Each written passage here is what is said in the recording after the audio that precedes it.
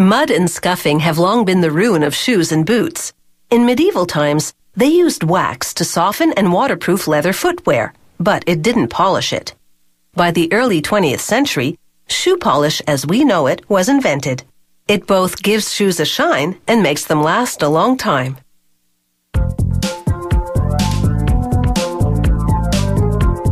A great shoe shine takes a bit of polish and some elbow grease.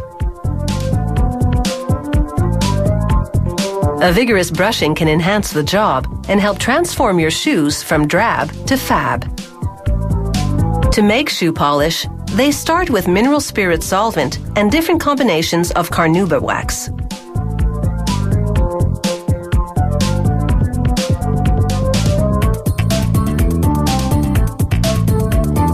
They load the waxes into a wax melter and heat them to 127 degrees Celsius.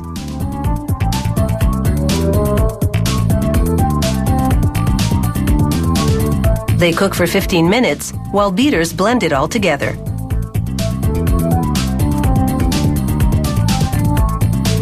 This is dye fluid. This one is a deep black shade. In another tank, they add the dye fluid and waxes to the solvent blend. Agitators mix it for three minutes.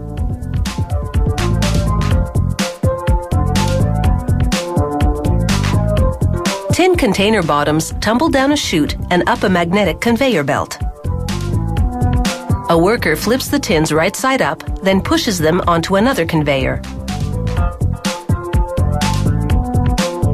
It lines them up and they're ready to be filled. Automated arms space the tins as they arrive at the filling head so they don't bunch up. The filling heads inject hot liquid shoe polish into the tins. The nozzles fill the tins with a precise amount, so there's no spillover. The polish now needs to cool down and solidify, so the tins travel through a cooling tunnel. When they emerge, the polish is a thick paste.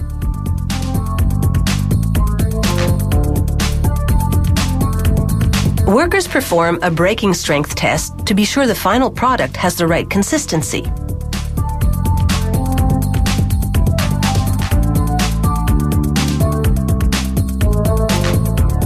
The polish-filled tins now funnel onto a conveyor that merges with a feeder loaded with lids.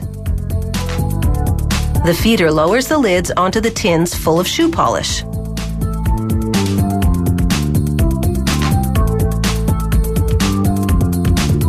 A compression wheel presses the lids in place with just the right amount of force. And this polish is now ready to shine.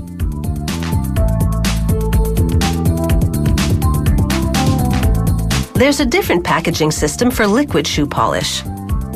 A blow molding machine forces hot air into plastic to form containers. Then the mechanized rack holding the containers rotates and places the newly formed bottles on another conveyor. It moves them under a flame which melts the rough edges. Revolving conveyors move under filling heads which pump liquid polish into them.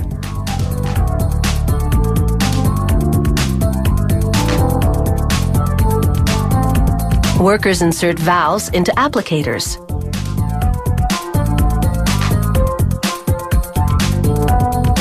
Then this machine press fits the applicators onto the polish-filled containers.